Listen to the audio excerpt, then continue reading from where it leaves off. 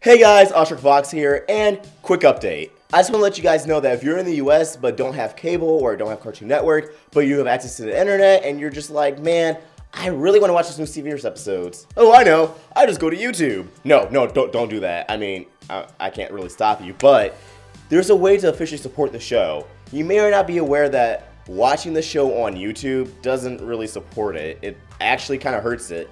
Cartoon Network doesn't get any benefits from this. They don't keep track of ratings through YouTube. They keep track of ratings through cable, DVR, and of course, the app. But you need a cable provider to watch the app, so how can you support it? Well, if you're in the US, and I know United States only, so if you're in Canada or the UK or any other part of the world, you can't really help officially support the show this way. But this weekend, it might be affected today, which is Friday. If not, definitely Saturday and Sunday.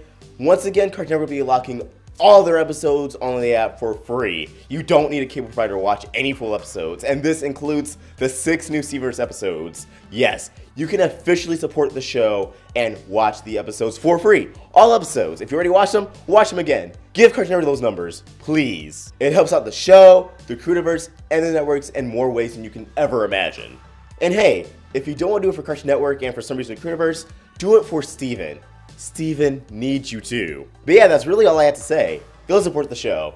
Do it. And if you're wondering how can I support the show without logging into the app since I don't have I'm not in the US, here is what you can do. Buy merch! Seriously, buying merch helps out a ton, especially when it comes to supporting cartoons on TV. Oh yeah, and it's not just the app, but the website as well, in case that helps. And hey, I would never say cheat the system, but hey, if you have a VPN and you kind of, you know, change your uh, location to United States, maybe it'll come on the app still. I'm not really sure. I'm not recommending that. I'm not condoning that. It's just a crazy idea I had.